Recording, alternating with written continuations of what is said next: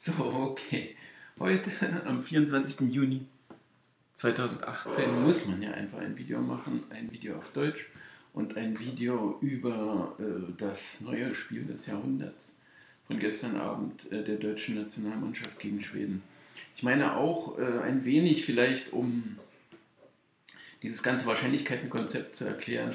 Aber natürlich geht es vorab um Vorabanalysen, Kommentare während des Spiels, Stimmung im Volk, ähm, die ähm, Reaktionen, die Analysen, äh, äh, das alles zusammengenommen und die Bedeutung dieses Spiels sozusagen für die ganze Nation und äh, wie auch immer. Ich meine, die, das Feuerwerk konnte man natürlich hören hier nach dem 2 zu 1 in der 95., 94., 95. letzten Minute. Ähm, Toni Kroos äh, auch die Reaktionen der Spieler, die Antworten, Interviews, äh, was auch immer. Also äh, wie immer finde ich natürlich alles äh, dazu falsch und ähm, ja, wie, was, was heißt schon falsch? Äh, man könnte ja alle Reaktionen natürlich erklären, auch die ähm, Analysen vorab, aber auf was man sich jetzt auch immer da konzentrieren möchte, ich gebe ein paar Beispiele und eines wäre eben, äh, das Interview mit Toni Groß im Anschluss, ähm, der äh, dann eben sagt, ja, einige Leute äh, hätten sich schon eher gewünscht, äh, dass sie ausscheiden und dass es denen nochmal gezeigt haben oder so, ja. Ähm, ähm, also ich finde diese Reaktion halt auch total nachvollziehbar. Und äh, wenn ich, wenn äh, das jetzt meinetwegen fehlinterpretiert oder was auch immer, was er da sagt oder wie es auch interpretiert wird, äh, das kann man halt einfach richtig stellen. Und ähm, wenn er sagt, die Leute wünschen sich das, äh, dann, äh, es heißt eben, man nimmt sehr wohl wahr, wie hier reagiert wird. Und ähm, natürlich als Spieler, selbst wenn Yogi Löw garantiert zu Ihnen sagen wird, schaut euch nicht zu viele Berichte an, wir arbeiten ja in Ruhe weiter und versuchen halt ein gutes Ergebnis zu erzielen, äh, aber Fakt ist, dass alle davon äh, beeinflusst waren und darauf einfach jetzt nicht mehr normal reagieren können. Die Forderung nach Siegen äh, oder sowas in der Bevölkerung hier, das ist eben einfach, das hat vollkommen absurde Ausnahmen, Ausmaße angenommen. Und ähm, in dem Kommentar wurde es ja auch deutlich, dass da eine vollkommene Konfusion ist, was man eigentlich möchte oder nicht. So, jetzt zunächst mal zu Toni Groß Reaktion. Dann sage ich nur, wenn man so viele Fachleute hört, die äh, Experten angeblich äh, natürlich, also die ich eben deren Expertenstatus ich weit mehr als nur in Zweifel ziehe, den ich halt äh, mit einem Stich mit der Nadel hinein in diese aufgeblasenen Luftballons äh, und da bleibt nichts als ein Häuflein schlechte Grammatik, wie es so schön äh, Tucholsky ausgedrückt hat, äh, weil halt einfach 0,0 dahinter ist. Ich meine, man kennt halt das Ergebnis, ja, ab jetzt Deutschland, Mexiko 0 zu 1. Ich meine, wenn sie vorm Spiel dann sagen, Ochoa hätte neun Paraden gehabt und wäre irgendwie Mann des Spiels gewesen, ja, dann müssen wir nochmal nachdenken. Äh, ja, warum ist er denn äh, mit neun Paraden? Äh, weil sie so schwach waren, äh, dass sie nur neun Schüsse oder wie? Oder einen hätte er nicht halten dürfen oder zwei oder wie? Es ist halt einfach alles lächerlich. Es ist ein Spiel mit Wahrscheinlichkeiten und die Wahrscheinlichkeit war, vielleicht haben sie das nicht perfekt. Man könnte eben auch hier diesen diese Werte anzeigen, äh, das waren nur 61,72 Prozent nach meinen Berechnungen. Der Markt war aber nicht so weit entfernt davon. Das heißt, also man kann da nicht einfach einen Sieg erzwingen. 61 Prozent, da würde sich doch kein Mensch wundern, wenn die mal nicht kommen. Aber das ist die deutsche Nationalmannschaft, die muss gewinnen und die, es ist verdammt zum Siegen. Und wenn sie es nicht tun, alles war falsch. Und wenn die Experten sagen, äh, ja, der hätte den mitspielen, äh, mitnehmen müssen, der hätte aufgestellt werden müssen, keine Leidenschaft, sind alle satt, äh, alles war falsch an diesem Spiel. Und das hören die Spieler. Was will denn der Experte damit für äh, erreichen? Also Waldemar Hartmann oder so, der denn äh, das alles zerreißt und dann noch die Beifallsklatsche auf seine Seite kriegt, dabei hart, aber fair oder wo auch immer das da war. Ähm, ist doch äh, äh ganz offensichtlich. Denn, denn wenn Toni Kroos jetzt sagt, der wünscht sich, dass wir ausscheiden, dann würde er natürlich, nein, ich habe natürlich nur und Besserung und sonst was.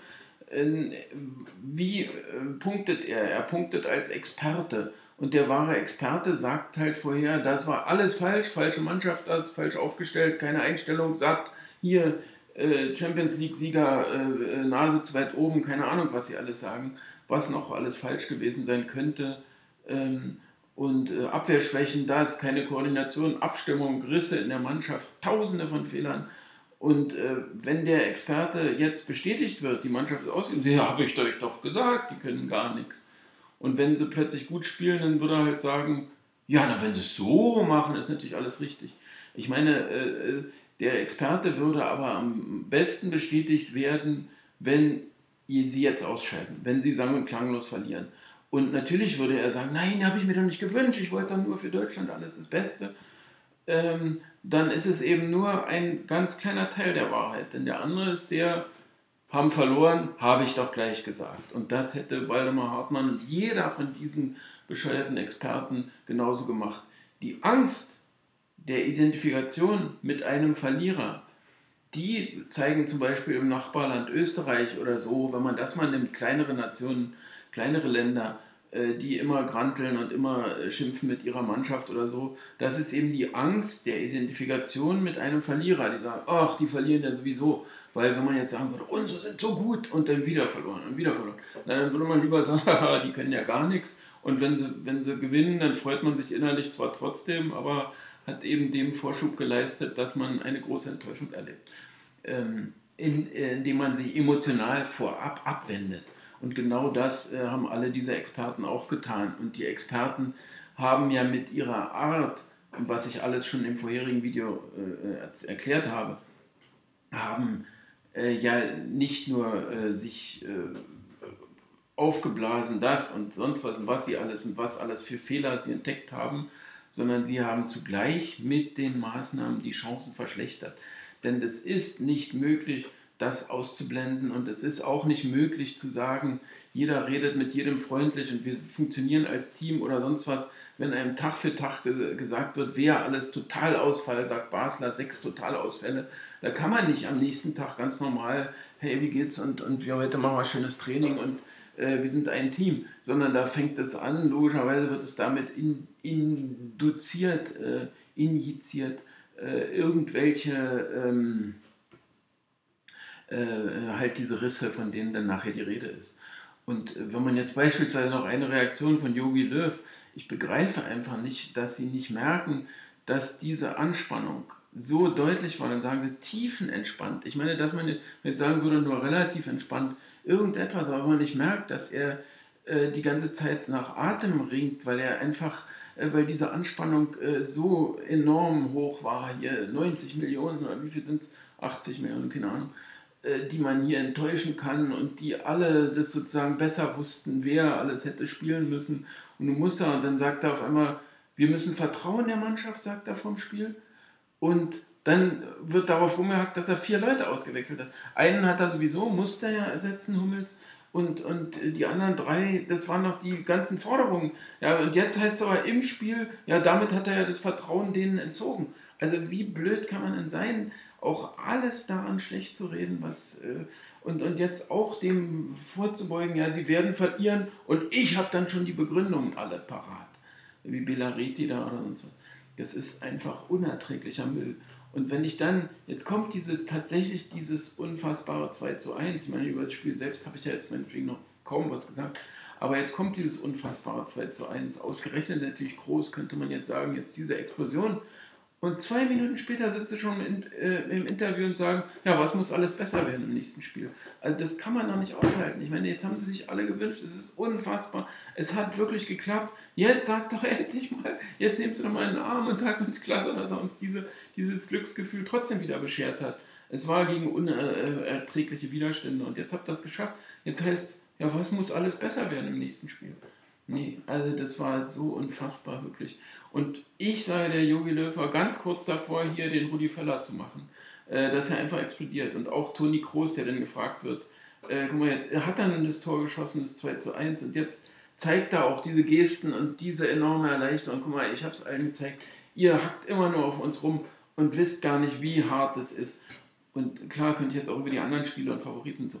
Aber jetzt erstmal nur das und man zeigt meinetwegen auch wirklich diese Emotionen, wo man sagt, der heult ja fast oder kann das nicht fassen, wie Pelé damals 1958, als er mit 17 Jahren das siegte oder das letzte Tor da schießt und dann vom Platz getragen wird, gar nicht fassen kann mit 17. Der konnte die Tränen nicht zurückhalten, weil er einfach so ergriffen war. Und so ähnlich war es bei Toni Kroos, dass sie dann immer gezwungen werden, da irgendwie nüchtern Analysen und sonst was. Aber der war genauso und dann sagt er, ja, bei Ihnen war ja nun auch nicht alles. Äh, kommt da gleich im Interview, da könnt ihr genauso das Mikrofon nehmen und der Frau da an Mund stopfen und einfach weitergehen. Und da sind sie kurz davor, das sage ich bloß, weil das einfach zu viel ist, der Respektlosigkeit, äh, äh diese wirklich, dann äh, haben wir es geschafft und dann, was war falsch alles und was hätte besser werden müssen.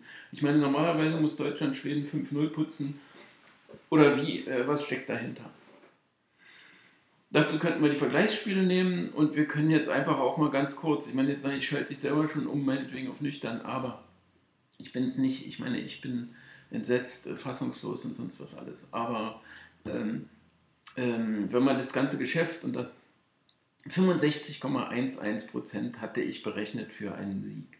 Und wenn man das auch mit dem Markt vergleicht oder so, da kommt äh, nicht viel was anderes raus. Der Markt hatte sogar eine etwas kleinere Chance, glaube ich, am Ende. Also sprich, äh, die Siegchance von Deutschland wurde noch geringer als 65% 65 das ist wie äh, zwei Drittel, ein Drittel beim Roulette oder sowas spielen. Also ich meine, äh, es kommt häufiger, aber sehr häufig geht es auch daneben. Wenn jemand glaubt, er kann das besser berechnen oder die Deutschen sind jetzt verdammt zum Siegen, jetzt sind es 90 Prozent plötzlich, weil sie gewinnen müssen oder 99, der soll sein ganzes Geld nehmen, darauf setzen oder auch meinetwegen Money Management, äh, nur ein Zehntel davon und dann äh, versuchen, damit Geld zu verdienen. Er wird aber nicht weit kommen. Aber meinetwegen, dann sagt er halt 70, nein, das sind 75. Ja, okay, dann äh, nimm äh, zwei Drittel deines Geldes oder ein Viertel, keine Ahnung was aus Money Management.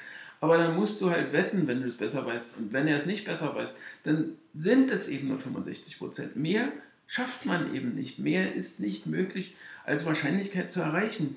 Und wenn diese Einschätzung mal, das ist ja auch auf mein Geschäft bezogen oder auf dieses ganze Wahrscheinlichkeitenkonzept, es kommt nicht mehr als 65 Prozent. Wenn sich jetzt die Leute hier abwenden, der eine postet da 0 zu 2, könnt ihr mir glauben, die Deutschen verlieren. Und äh, sehr viele haben sich dagegen gestellt und so wird es gar nichts und sonst was. Natürlich, weil sie diese ganzen Expertenmeinungen aufnehmen.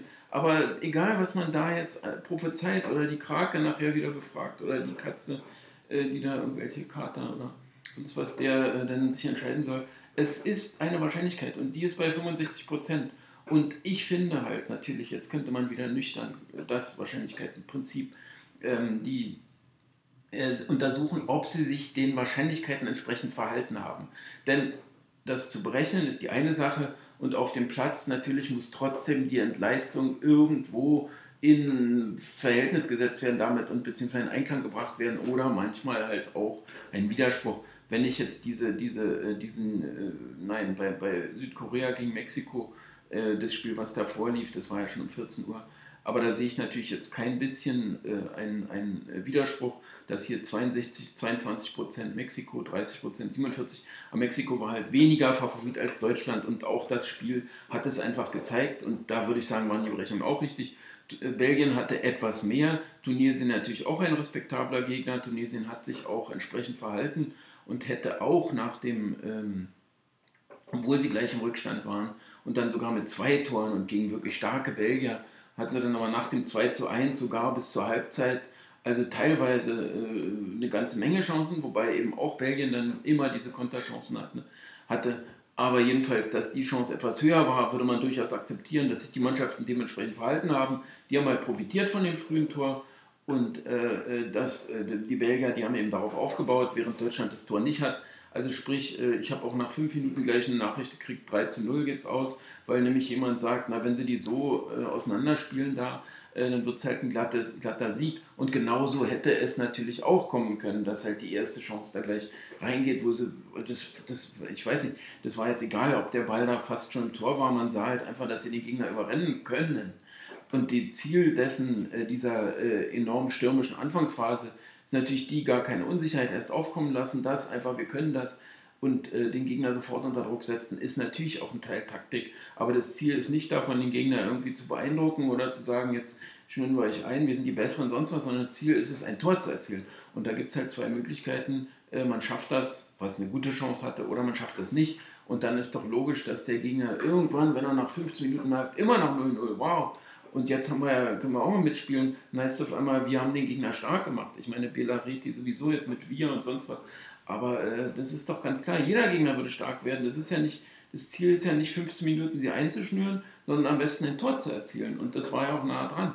Also, äh, und, und wenn es ja nun mal nicht geklappt hat, was man eben einfach nicht garantieren kann, äh, dann, dann, ähm, ähm, dann ist es logisch, dass der Gegner dann irgendwann mal stärker wird. Und man hat ihn aufgebaut, jetzt wieder als aktive. Schweden darf gar nicht, sie dürfen gar nicht den Ball haben, sonst äh, haben die Deutschen was falsch gemacht oder wie. Ich meine, es ist halt, und abgesehen davon habt ihr doch die Unsicherheit selber denen aufgezwungen. Also äh, dann wundert euch doch nicht, wenn denn mal ein Fehlpass kommt. Ich meine, äh, das meine ich ja, dann waren halt diese Auswirkungen von den Medienreaktionen halt doch irgendwo zu spüren, dass dann eben plötzlich mal ein, wirklich ein schlechter äh, Pass da in der eigenen Hälfte passierte oder so. Ja. So, und, ähm, und ich meine überhaupt schon jetzt diese drei Wechsel dann, also ich meine, sie verlangen dringend Änderungen er spricht von Vertrauen, ändert auf drei, meinetwegen gezwungen auf vier Positionen.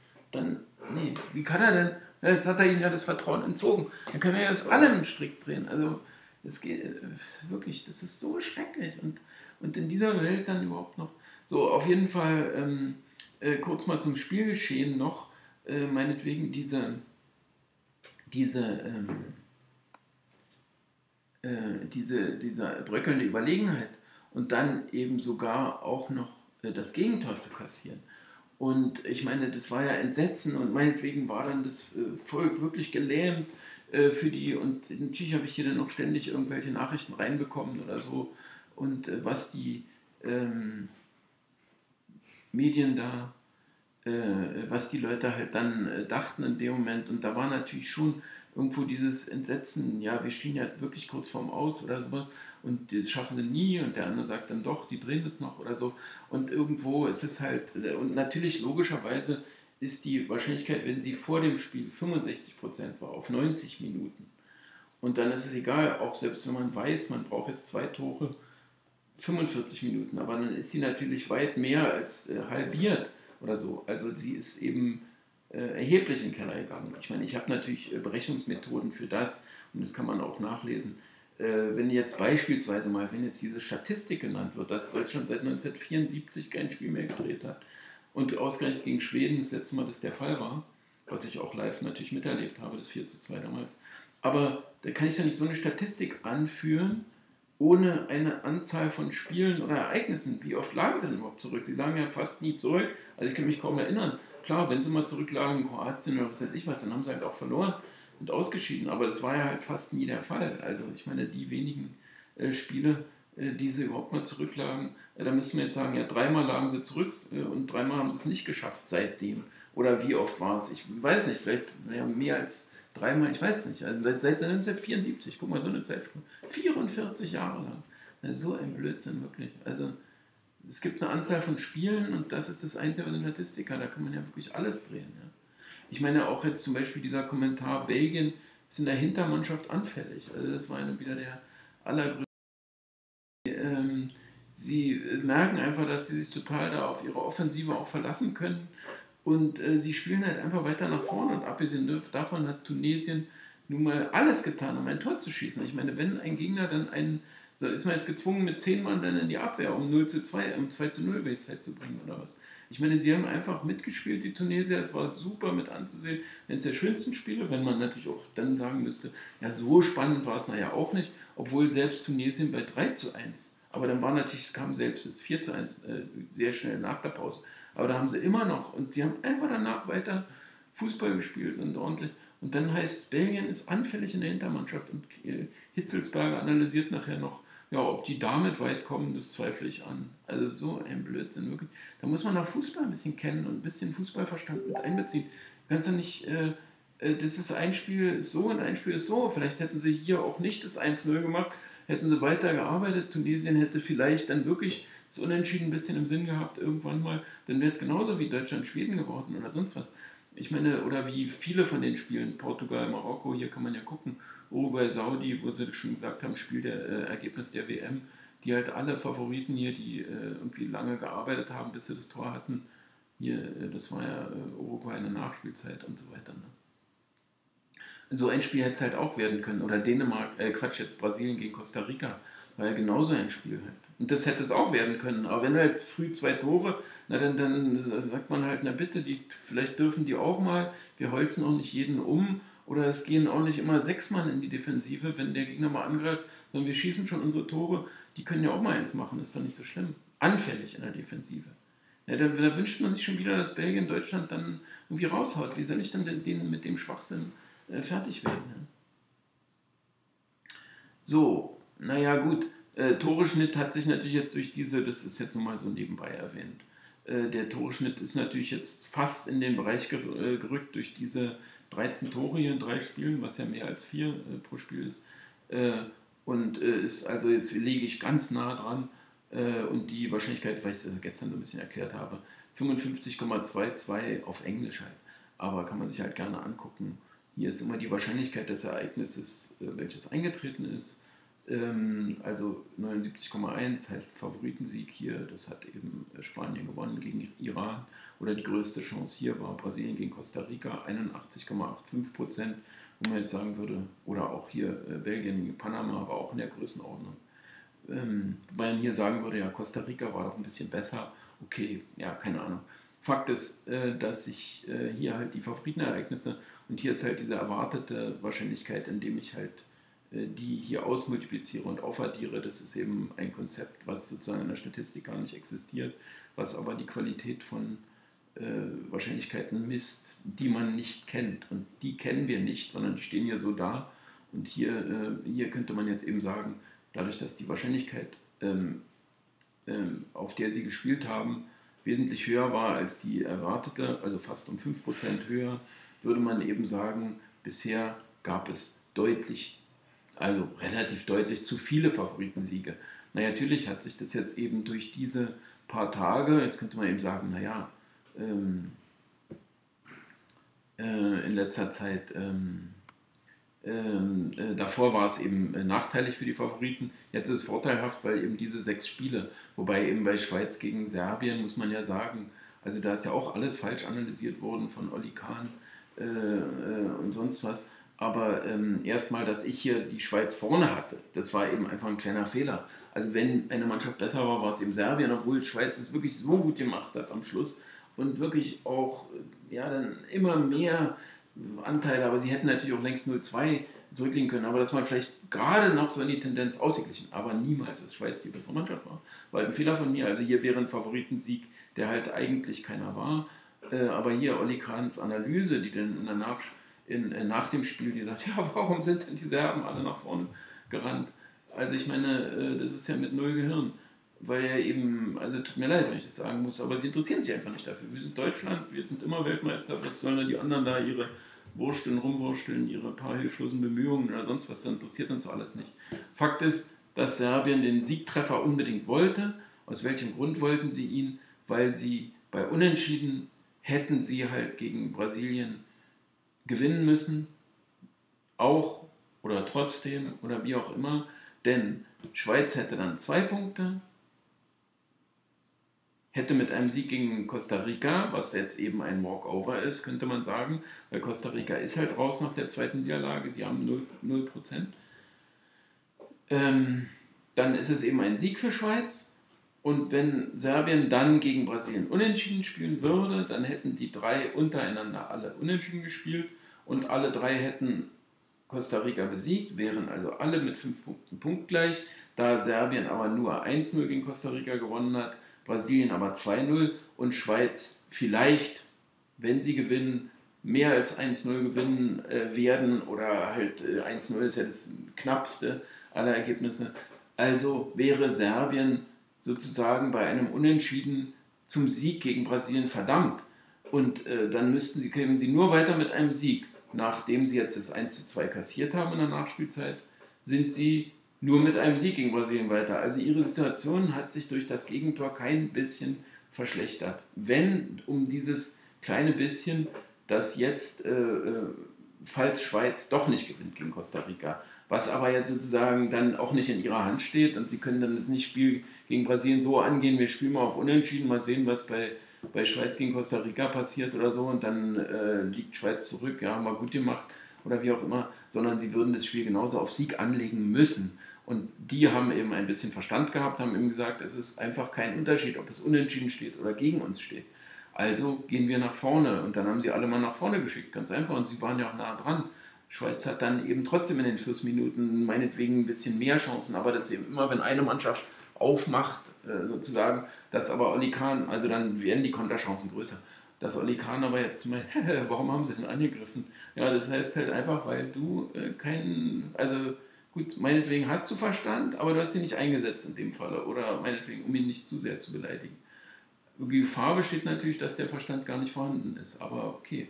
Das dürfte ich natürlich nicht sagen. Bloß wenn es häufiger zu solchen unsinnigen Aussagen kommt, muss man natürlich schon irgendwann anzweifeln. Abgesehen davon, dass natürlich nach meiner Einschätzung irgendwann mal sich Leute auch einfach melden müssten und sagen müssten, ja, was redet der denn da?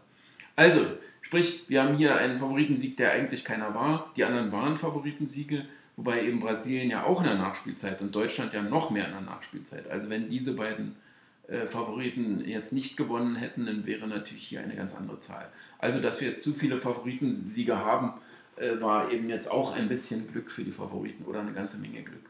So, wenn man jetzt also das Spiel Deutschland-Schweden, habe ich noch nichts drüber gesagt, aber vielleicht kann man das auch nochmal so äh, ein bisschen nüchterner zusammenfassen. Wie gesagt, die Reaktionen von allen, also alle, Thomas Müller auch im Interview, hatte kaum Luft bekommen, was eben auch äh, Zeichen für die Anstrengung ist. Er hat versucht, ruhig zu sprechen, hat aber, man merkte es eben, dass er einfach außer Atem war. Das kann aber auch Teil Entladung dieser Anspannung sein. Und dann kamen eben auch die unsinnigen Fragen. Sozusagen, was jetzt, das war noch lange nicht gut, also gerade so geschafft, was immer in Deutschland schaffen wir sowieso, aber gut war es noch lange nicht.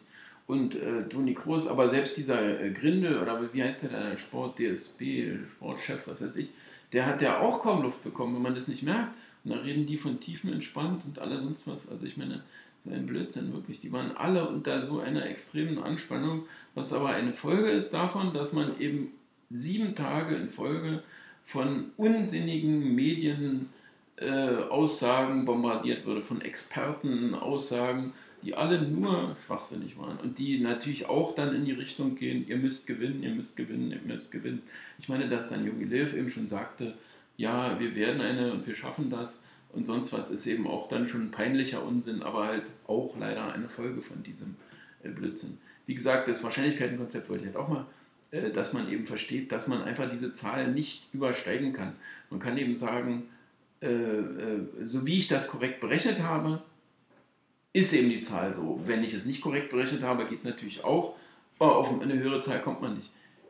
bloß jetzt das Spielerverhalten könnte natürlich so sein, ja, wir müssen halt noch einen Kilometer mehr rennen. Theoretisch müsste das aber in der Zahl schon drinstecken. Also sprich, wenn Thomas Müller jetzt so außer Atem ist, hat er halt, guck mal, mit zehn Mann müsste der noch ein Tor und haben es auch versucht. Da könnte man halt auch jetzt über die Taktik kurz mal reden, ähm, weil es vergleichbar mit dem Serbien. Aber dann könnte man halt sagen, ja, der hat gesagt, ja, aber wenn ich noch, ein, noch mehr äh, renne, was theoretisch aber schon eingerechnet sein müsste in die Zahl, dann, äh, dann kann ich vielleicht die Chance von, äh, aber da waren es ja sowieso nur noch dann 8% oder sonst was in den letzten 5 Minuten also, oder 10 Minuten, dass sie noch ein Tor schießen. Aber dann, dann mache ich vielleicht aus 8% 9%, was aber dann eben alles andere als den, die, die Gewissheit garantiert. Aber was eben dann in der Gesamtheit sozusagen hier einen kleinen positiven Wert. Nur könnte man ja dennoch sagen, ja, aber die Schweden wussten ja auch jetzt und so. Und dann sind sie noch langsamer zur Ecke gelaufen. Darüber war ja, äh, könnte man ja auch noch reden äh, was hatte ich jetzt gesagt gerade, die, ähm, äh, die, die, nee, den Einfluss auf die Wahrscheinlichkeiten sozusagen, den hat man im Grunde nicht. Aber natürlich ist es eine, eine Entwicklung in einem Spiel. Nicht? Also sprich, am Anfang haben sie vielleicht in den ersten fünf Minuten tatsächlich ihre Wahrscheinlichkeit einfach durch dieses enorm äh, selbstbewusste, gute Auftreten, wo sie einfach jetzt sagen, wir wollen das alles ablegen, wir haben 90 Minuten Zeit, wir sind besser, konnte man sehen. Und dann steigt vielleicht die Wahrscheinlichkeit tatsächlich auf 70 Prozent, dass man sagt, naja, wenn sie so spielen und der Gegner gar kein Bein auf die Erde kriegt oder so. Aber dann natürlich geht es wieder runter, dann kommt das Gegentor, dann bricht sie in den Keller auf vielleicht 25 Prozent oder sonst was. Ich habe es jetzt hier nicht aufgezeichnet, könnte man aber natürlich auch äh, an Marktreaktionen und so weiter.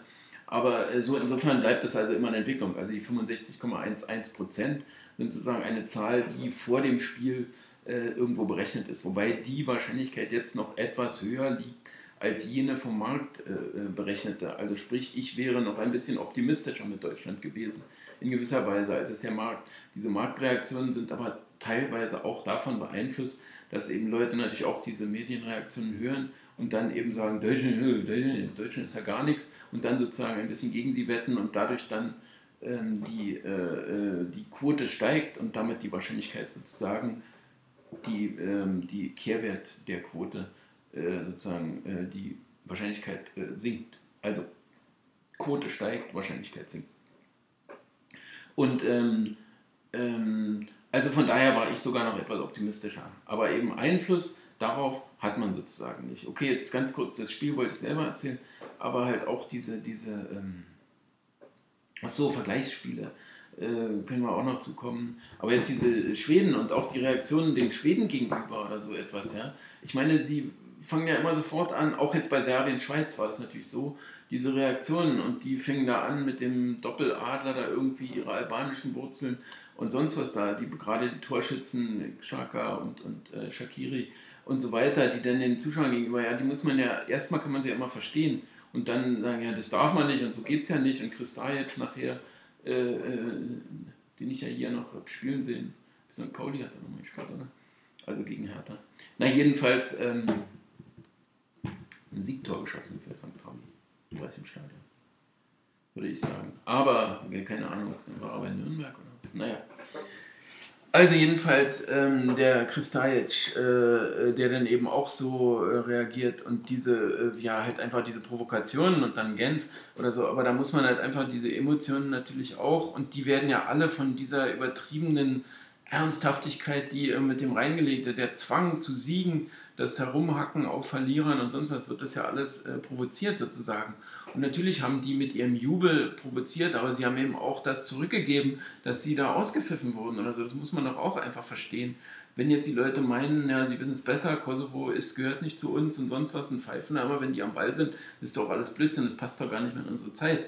Und dann äh, kann man ja auch die Reaktion wieder äh, verstehen, ne? dass sie dann in die Zuschauer da ihren Doppeladlerzeichen machen und sonst was. So, aber äh, dass dann Kristajic nachher sagt, ähm, äh, diese, da müsste die Genfer Dings da sonst was wie Kriegsverbrecher oder so, was natürlich meinetwegen dann irgendwann überzogen wird, das will ich ja gar nicht bestreiten. Trotzdem kann man es ja erstmal verstehen, dass man einfach jetzt sagt, äh, ja, das wird ja rückwärts auch äh, provoziert und ähm, äh, in alle Richtungen. Und natürlich muss man nun immer diesen Stachel äh, des Gegentores, obwohl man halt im Grunde trotzdem über 90 Minuten die bessere Mannschaft war, was ich jetzt trotzdem noch einmal dann so äh, sage. Also ich, für mich, mein Gefühl war dann trotzdem Serbien die bessere Mannschaft.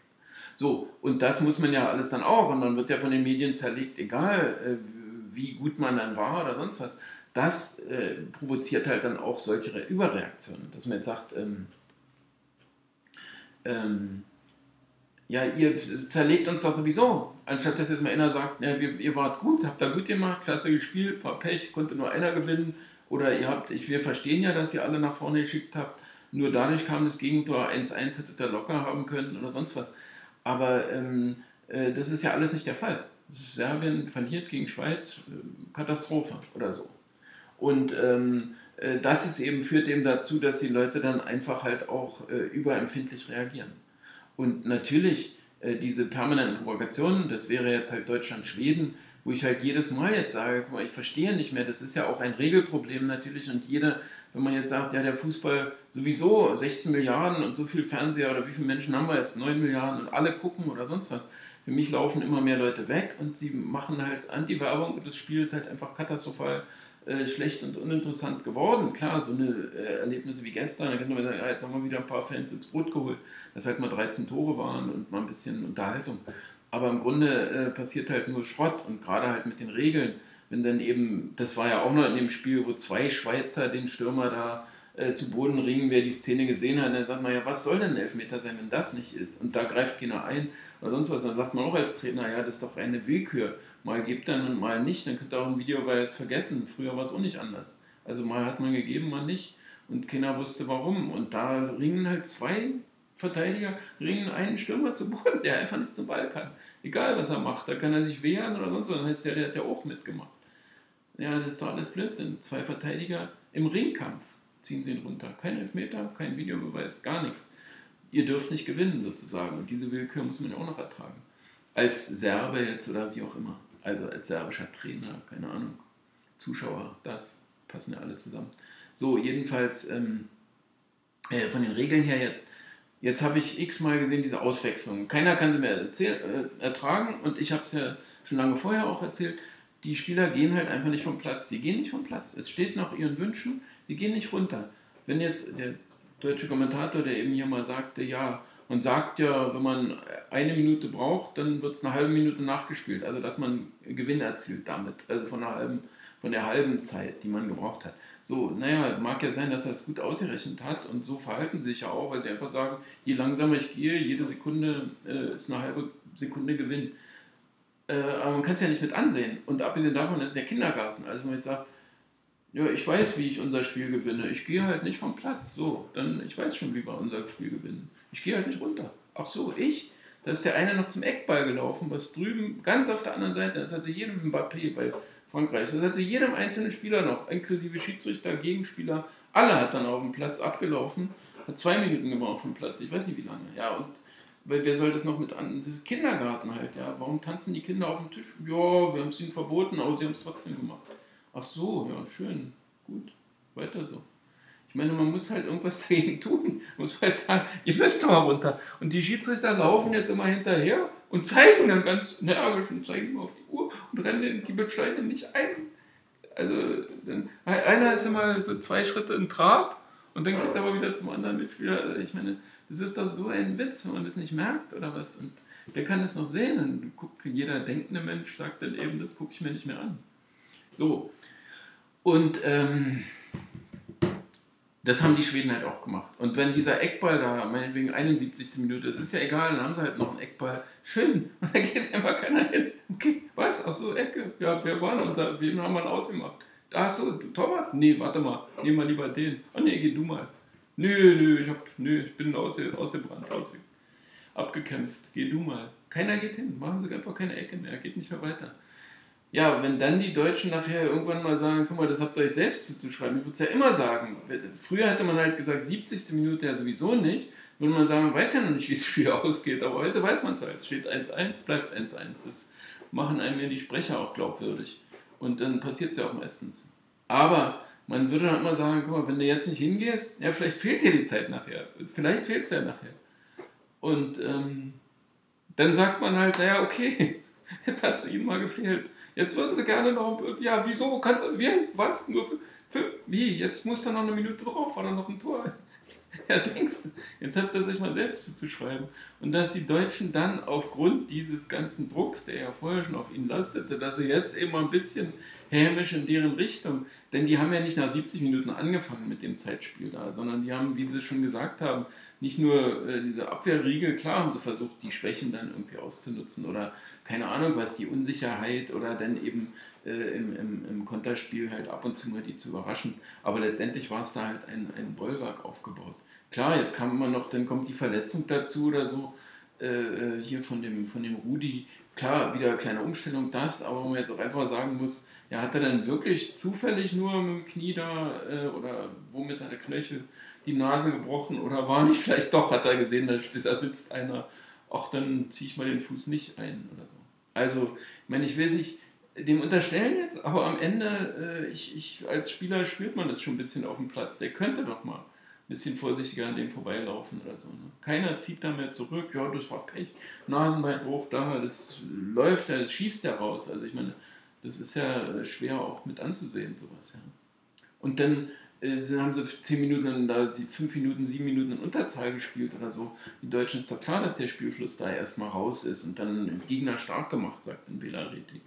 Weil äh, das Fazit geht immer auf das aktuelle Ergebnis, weil Tore können ja nicht fallen. Also sprich 0 zu 1, Fazit wieder alles schwach von Deutschland. Was natürlich überhaupt nicht stimmte.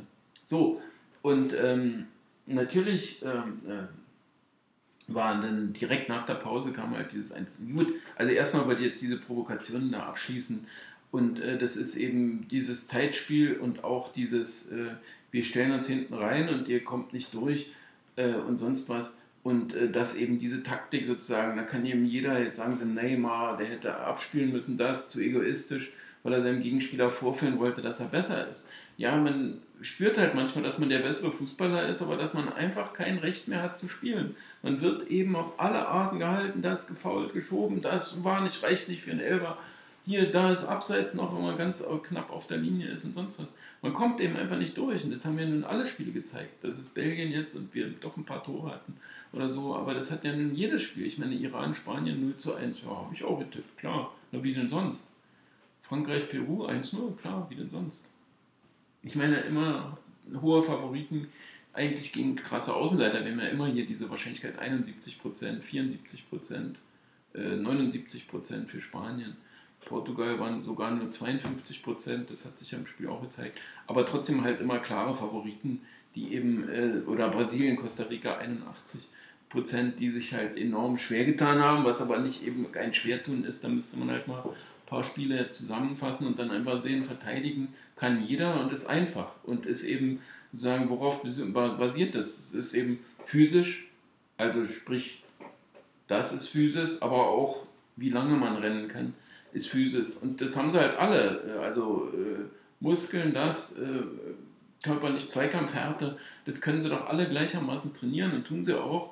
Und sonst was. Und abgesehen davon, äh, hier Schmerzmittel schon vor der Partie, dass man auch nichts merkt, wenn man da äh, immer zu die Ellenbogen abbekommt und sonst was. Ne? Und ähm,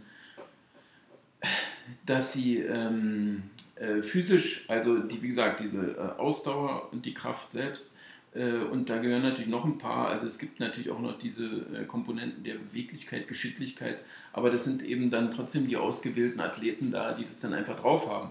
Sprich also, jetzt kommen noch die balltechnischen Vorteile und die äh, reichen dann einfach nicht aus, weil man einfach dann und immer wieder von zwei Spielern an die Zange und das war auch nichts und sonst was. Und sprich, also ja, man kommt halt nicht durch. Wer hat denn ein erfolgreiches Dribbling gesehen? Und wenn man es hier in Deutschland, also ich meine, wenn man es hier sieht, dann hört man halt den deutschen Kommentar dazu und heißt, das geht ja viel zu einfach. Also ich meine, das ist jetzt wieder ein ganz anderer Teil der. Also sprich, man würde 90 Minuten auf ein einziges gelungenes Dribbling warten, wenn es aber kommt, heißt es viel zu einfach. Naja, gut, also ähm, diese, diese, ähm, die Favoriten, die sich eben nicht nur schwer getan haben, sondern sogar, also wie soll ich sagen, das ist eben jetzt, müsste man sagen, schon glücklich, wir kennen ja jetzt äh, drei, vier Favoriten, die sich in der Nachspielzeit und alle nur mit einem Tor und so weiter, dann kann man ja, muss man ja einfach irgendwann mal anerkennen, dass so das Spiel ist und dass natürlich, dass die Spieler auf dem Platz auch äh, ähm, äh, merken, also sie wissen halt, sind die besseren Fußballer und merken es auch dem Ball, nur hilft dann das einfach nichts mehr, dass man mit dem Ball besser umgehen kann. Was aber dann auch nur noch minimal äh, und in, äh, in Nuancen äh, der Fall ist. Aber natürlich sieht man das und dann eben immer wieder und ich meine, dass die Sprecher sowieso dann überhaupt nicht wissen, wie Fußball geht, äh, das ist ja offensichtlich. Aber wenn dann irgendwie mal ein Angriff äh, aufgebaut wird, dann sagt er, ja, da muss schneller gehen da und hier hätte er den sehen müssen und hätte gleich spielen müssen und sonst was.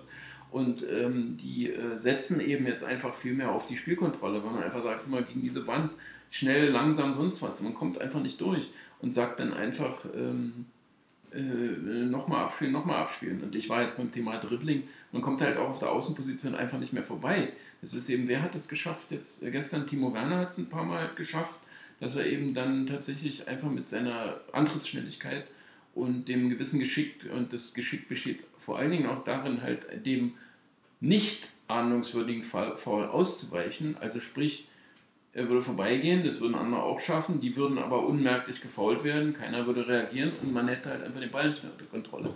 Und das ist ja ihm halt gelungen, zweimal, dreimal vielleicht im Spiel oder so.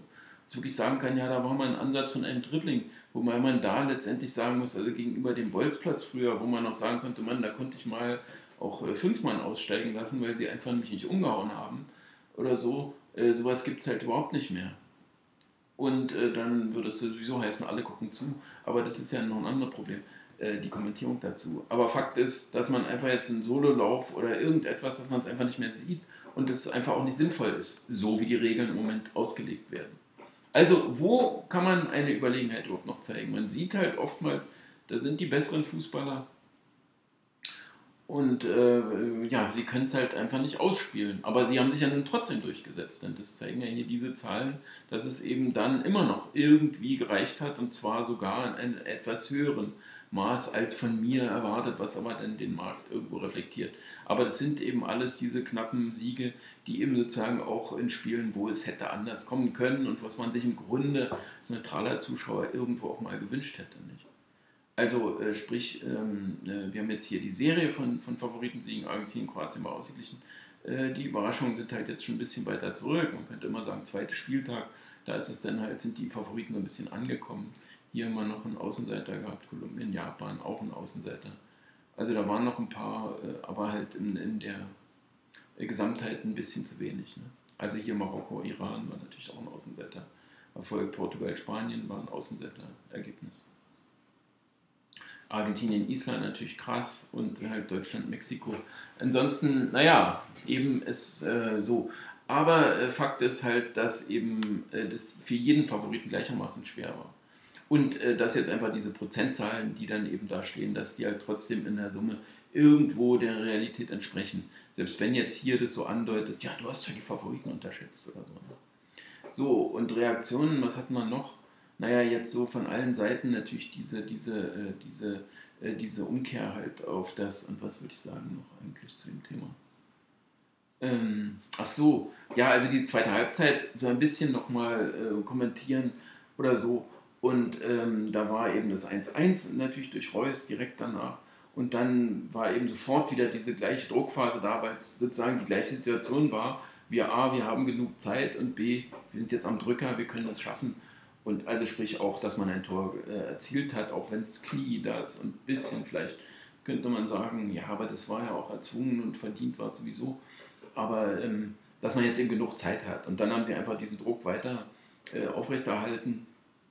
Natürlich so diese induzierte Unsicherheit, meinetwegen würde man dann auch schon sagen, dass sie aber sich auch im Spiel wieder selbst ergeben kann, wenn man dann plötzlich merkt, auch so ein paar Mal fiel mir auf, wo die Leute sich am gleichen äh, Platz befanden, also wo so ein bisschen Raumaufteilung, keine Ahnung was. Also so, das ist für mich jetzt Unsicherheit einfach. Da wollte einmal der, den Ball überlassen an den anderen und äh, groß und das und der blieb stehen und dann war der Ball fast verloren und sonst was. Also, aber da war auch manchmal so, wo sie einfach irgendwie falsch gelaufen sind, in Positionen, wo schon jemand stand oder so, wo ich dann dachte, ja, aber warum läuft denn, da kann er den Ball gar nicht kriegen und so wo also so ein bisschen, ja, das war ein bisschen unkoordiniert teilweise. Aber das war eben auch für mich jetzt ganz klar natürlich die Auswirkung dieser gewissen ähm, spürbaren, äh, dann doch Verunsicherheit äh, oder auch diese Angst jetzt versagen, weil eben das äh, sozusagen so äh, extrem äh, verlangt wird, halt dieser Sieg. Und dass man das eben spürt und dass man eben einfach sagt, ja, weil ihr seid doch zwar alle bescheuert, dass ihr das, dass ihr denkt, dass man einfach so immer einen Sieg erzwingen kann aber trotzdem, dass dieser Druck eben auf sie äh, durchschlägt. So, und da, äh, klar, und dass eben jetzt diese Initiative, die sie dann eben hatten, wo man jetzt sagt, immer, da waren dann die drei, vier Szenen oder so, wo man jetzt einfach das zweite Tor machen würde, wo man es dann eben auf natürliche Art noch gewinnt, das Spiel. Sozusagen halt den Teil, der, ja, diese selbstverständlichen Teil dieser 65 Prozent halt äh, nutzt. Eben, wenn man eine hohe Wahrscheinlichkeit hat, dann ist eben in der Regel so, äh, also wenn es, naja, naja, dafür ist natürlich irgendwo ein Tor erforderlich, ne? weil das eben beim Fußball so ist oder so. Ne? Aber wenn man das bei anderen Sportarten zum Beispiel sieht, äh, dann ist ja oftmals so, der Favorit mag auch bei 65% sein und dann nähert sich normalerweise diese Linie so allmählich den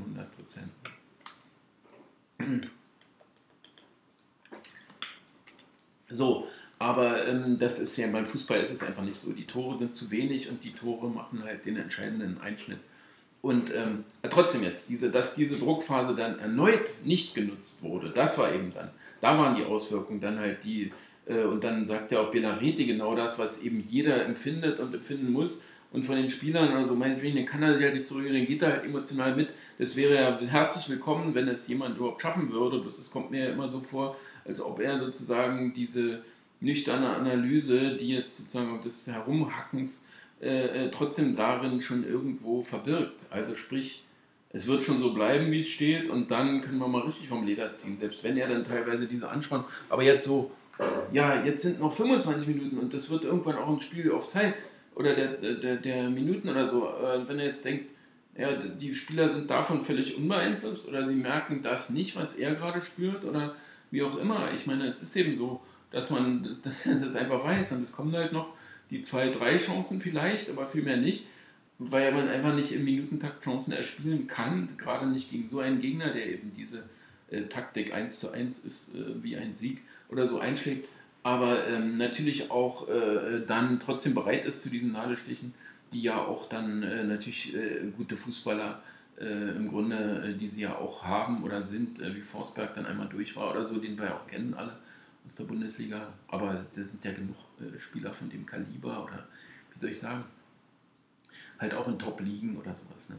Und ähm, ähm, dass eben dann auch diese Angst jetzt noch ein zweites zu kassieren und natürlich dann der Platzverweis war ein, äh, noch, selbst wenn es total verdient war, für mich hat aber Boateng trotzdem sehr gut gespielt. Also auch diese, diese, diese Pässe, die er halt immer spielt, die ich ja jetzt schon seit Jahren immer wieder äh, bewundere oder so, nicht die ja, äh, ja man, man, würde immer denken, ja, könnte doch mal sein, dass einer nicht ankommt, aber er hat gar keine Angst und die kommen halt an. Also ich weiß nicht, wie man das macht. Das hat halt der Rüdiger total anders gemacht, der eben äh, dann tatsächlich äh, versucht hat, einfach nur den Ball irgendwie zum Mitspieler zu bringen. Das muss man schon sagen. Aber das war wohl auch nach dem ersten Fehler, den er gemacht hat, dass er dann dachte, jetzt bloß nicht noch irgendwie mal einen Anlass geben zur Kritik oder so. Und dann eben Sicherheitsbälle spielt, was eben auch Belareti dann äh, erkannt hat.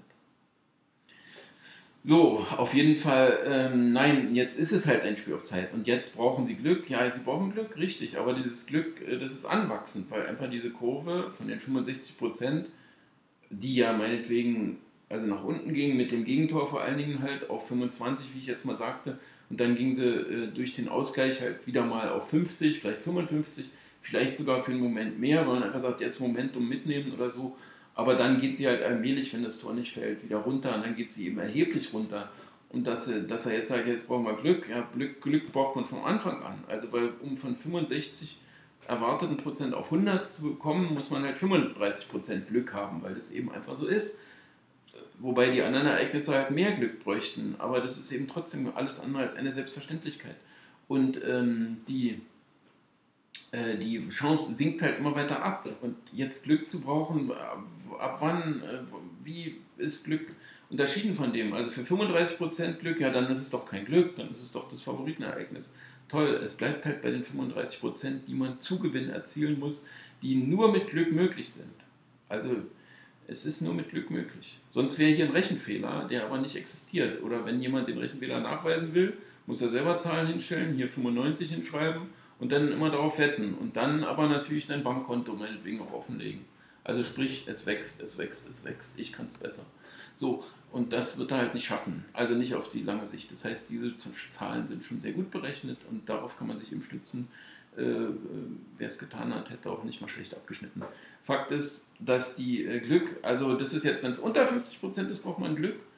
Also man braucht äh, immer Glück, wenn man irgendwie was äh, erreichen will, was eben vorher noch nicht feststeht. Also sprich, auch diese 81 Prozent, die sind halt, äh, brauchen weniger Glück, aber sie müssen halt erstmal irgendwie sich realisieren und der Zuwachs geschieht halt durch Glück. So, wie gesagt, ähm, die, äh, die Chance sinkt und er meint, äh, das ist eine Zeit, das, jetzt brauchen wir Glück. Ja, tolle Erkenntnis. Hätten wir vorher auch gebraucht, hätten wir zu jedem Zeitpunkt gebraucht. So, und ähm, die ähm, Chance sinkt also immer weiter ab. Und natürlich spürt man das auch in den Reaktionen. Es wird eben, jeder weiß von diesen Fußballern, und das verdient halt allerhöchste Bewunderung, dass es eben, sozusagen, dass ihre Chancen jetzt schwindend sind. Und trotzdem muss man halt auch in der 75. Minute und mit einem Manvenia ab dann, äh, das war ja etwas später noch, aber jedenfalls muss man dann noch versuchen, den Angriff geduldig und gut aufzubauen. Wenn also jetzt ein Mangel an Geschwindigkeit oder Gündogan sagt auf einmal, der soll jetzt endlich mal zeigen und es in die Hand nehmen oder sonst was und äh, irgendwas wird da äh, plötzlich eingefordert von dem oder so und der versucht einfach nur, und der hat ja kreative Bälle auch gespielt und gute Bälle gespielt und ich weiß nicht, man kommt halt nicht durch und wenn es einer versucht, nein und dann nicht so und dann nicht so selber schießen, abspielen, das immer je nachdem, was er gemacht hat und was kein Tor brachte, auch kein Tor brachte, war falsch. Und äh, dann äh, muss er, ja, es geht nicht ohne Risiko, war eine sehr gute Bemerkung Bellareti, weil äh, das wäre eben absolut richtig gewesen, äh, dass es eben nicht ohne Risiko geht, was eben dann aber auch die Fehlleistung sozusagen einkalkuliert, aber auch entschuldigt. Also sprich, wenn man jetzt eben wirklich den riskanten Ball spielt in die Spitze und der kommt nicht an, muss halt sagen, ohne Risiko geht es nicht. Okay, hat er versucht und versucht es nochmal, weil vielleicht kommt der nächste an. Und das war eine gute Erkenntnis zwar, aber die er ja nicht äh, korrekt auslebt oder am Schluss nicht korrekt äh, auch äh, bewerten würde. Also sprich, äh, sie haben es gut gemacht, es hat trotzdem nicht gereicht, das würde man ja nie hören. Was aber trotzdem der Fall sein könnte und was eben eine gute Analyse wäre, eine sinnvolle, eine passende und auch eine, die der Zuschauer und Zuhörer gerne hören würde, weil sie nämlich stimmt, weil man das einfach herausspürt, wenn etwas stimmt.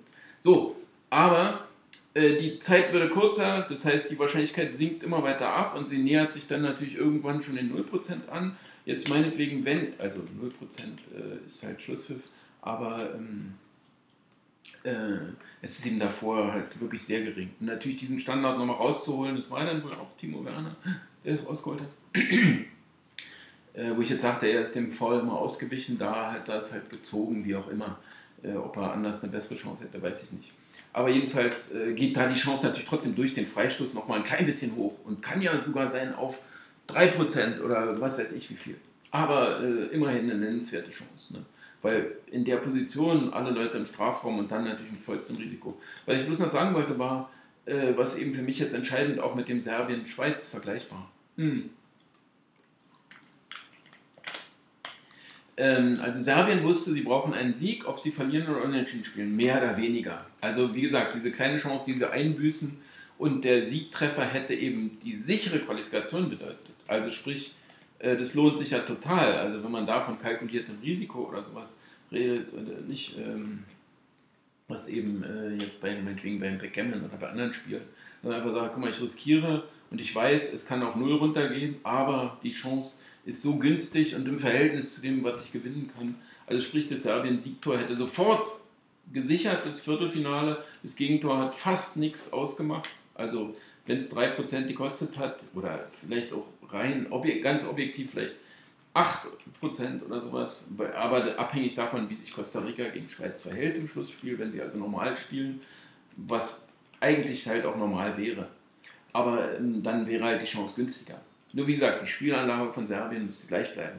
Deutschland hatte bei dem Unentschieden eben noch eine Chance. Und wenn sie das zweite kassiert hätten, was eben dann auch in der Luft lag, muss man ja ganz ehrlich sagen, also wer das jetzt ignoriert, äh, würde daneben liegen, dass sie eben jetzt sozusagen komplett aufgemacht haben. Und eben die Absicherung, die ja mal eingefallen, dass sie die eben aufgegeben haben. Und da hat man eben tatsächlich Chancen hergegeben, aber welche waren das? Was Serbien hergegeben hat, war berechenbar und klein.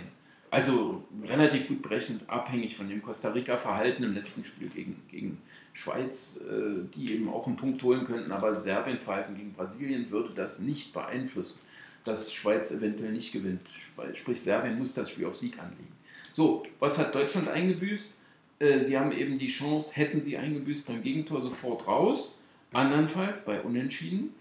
Ein Sieg natürlich gegen ähm, Südkorea, vier Punkte Schweden äh, hätte bereits die vier Punkte, könnte aber verlieren gegen Mexiko, die dann neun Punkte hätten.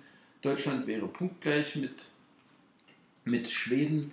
Und abhängig davon, wie Mexiko, falls sie denn gewinnen gegen Schweiz, wie sie gewinnen würden, ähm, äh, wäre dann sozusagen das äh, Achtelfinale immer noch möglich gewesen. Und äh, eben weniger als 1 zu 0 geht ja nicht. Also der direkte Vergleich Deutschland-Schweden wäre sowieso gleich. Und Torverhältnis ist ja, da Deutschland 0-1 verloren hätte und dann 1-1 wäre, also 2 zu 1, äh, 1 äh, zu 2 plus halt ähm, das Spiel gegen Südkorea, welches sie dann besser gewinnen könnten als Schweden, während äh, äh Mexiko äh, äh, höher gewinnen würde. Also das wäre praktisch, die Minimalergebnisse wären ja 1-0, 1-0, wonach alles gleich wäre. Und ansonsten, wenn Deutschland mehr als 1-0 oder Schweden mehr als 1-0 verlieren so, sollte, für den Fall jeweils, dass es Sieg für Deutschland, Niederlage für Schweden gibt, gibt es keine schlechteren als 1-0 und 1-0, die dann immer noch Gleichstand erzeugen würden. Und äh, danach das Los tatsächlich entscheiden würde. Und äh, also diese Chance hätten die aufgegeben und die Chance ist ja gar nicht mal schlecht. Denn wie gesagt, Südkorea schlagen, können wir natürlich hier auch nachgucken. Also Südkorea schlagen, Deutschland, Mexiko. Ach so, das habe ich hier in dem anderen. Äh, oh ja, jetzt müsste ich das vorholen kann ich aber natürlich. Äh, Deutschland, Schweden, Deutschland, Südkorea. Das wäre also immer noch äh, diese 1,32, das habe ich jetzt hier nicht mit Prozenten angegeben, aber ähm, äh, das ist halt 1 durch 1,32. Ja, wo, wo, kann ich das hier vor, äh, vorführen? Also die Chance, dass Deutschland Also das ist ja mit eine der besten Chancen. Ne? 75 Prozent, also eher 76. Und äh, natürlich, also das ist eine sehr ordentliche Chance und schlechter als 1-0 geht ja dann nicht. Und gleichzeitig müsste halt äh, Mexiko gegen Schweden gewinnen, die sind Favorit, aber hier halt äh, 2.71, das sind dann halt nur knappe 40 Prozent. Aber das ist eben 40 mal 75, sind halt immerhin 30 Prozent. Also eine 30 Prozent Chance hätten sie aufgegeben mit dem Gegentor. Aber entscheidend natürlich Überlegung dabei ist natürlich die, ja, Mexiko ist ja schon durch. Warum sollten sie gegen Schweden gewinnen? Sprich, äh, das ist also, vielleicht äh, spürt man dann eine geringere Chance. Also er, äh, er führt, aber entscheidend wird natürlich sein, wir haben es nicht in der Hand. Während Serbien hätte es ja in der Hand gehabt.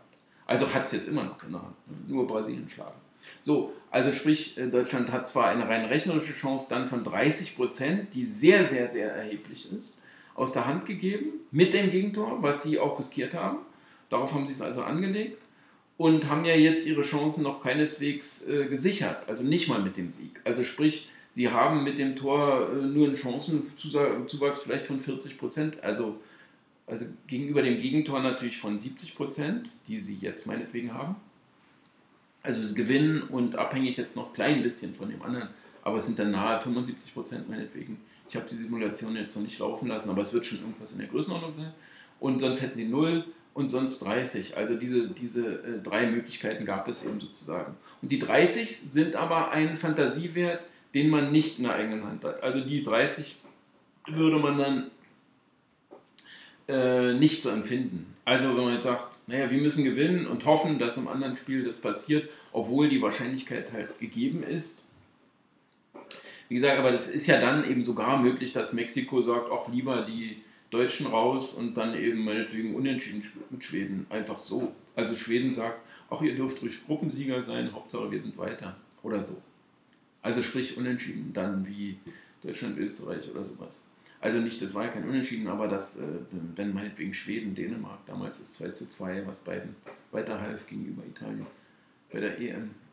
Also jedenfalls ähm, äh, wären das eben Fantasiezahlen von 30 Prozent, die man nicht in der eigenen Hand hätte und die möglicherweise davon auch erheblich reduziert wären, dass eben Mexiko äh, das Spiel äh, nicht ernst nimmt oder halt, dass Mexiko es gar nicht erst möchte. Also sprich, Deutschland gar nicht helfen möchte. Was man dann auch schon ein bisschen sogar, naja, annehmen kann. Also von daher ist es zwar verständlich, dass Deutschland aufgemacht hat, aber es wäre für mich jetzt rein mathematisch im Grunde nicht gerechtfertigt gewesen. Also da wäre es eigentlich besser gewesen, man lässt es 1-1 stehen. Also rein mathematische Sicht, ja, aber die, ist halt äh, natürlich absurd, jetzt den Spielern das so vorzurechnen. Und da weiß ich auch gar nicht jetzt, ob jemand da überhaupt gerechnet hat, auch jetzt im Vorfeld schon, inwieweit sie das dann ausrechnen.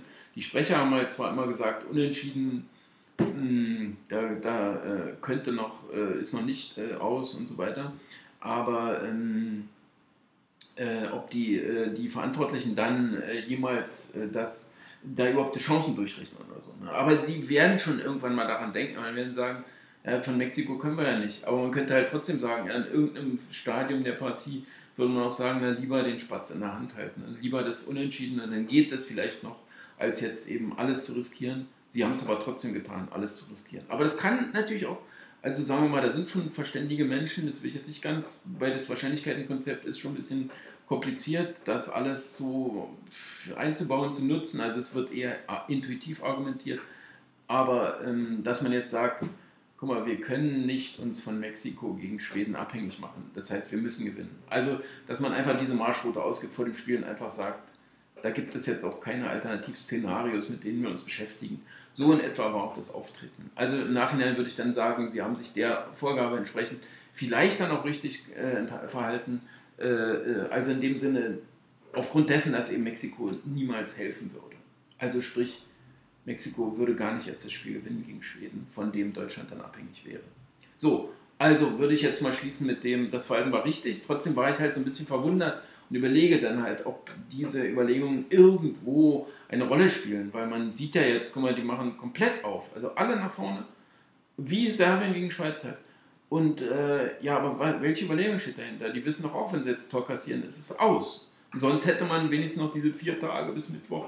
Oder dann halt auch äh, möglicherweise, ja, dass man den Mexikanern da mal, naja, mal am Telefon irgendwie, wenn ihr gewinnen solltet und so, wäre nicht schadhaft für euch oder so. Keine Ahnung in die Richtung. Also äh, da hätte man also noch Möglichkeiten. So, und jetzt habe ich also genug geschwafelt, obwohl ich noch tausende von anderen Sachen und das würde ich vielleicht dann auf ein anderes Video verlagern. Also eine Stunde, wer durchgehalten hat, danke, äh, freut mich, liebe Like. Also, wie heißt es immer? Komment, kommentieren äh, mögen, teilen und äh, hier abonnieren. Share, like, comment, subscribe. So. Thanks a lot. Danke für die Aufmerksamkeit. Tschüss, ich mache mehr davon. See you soon.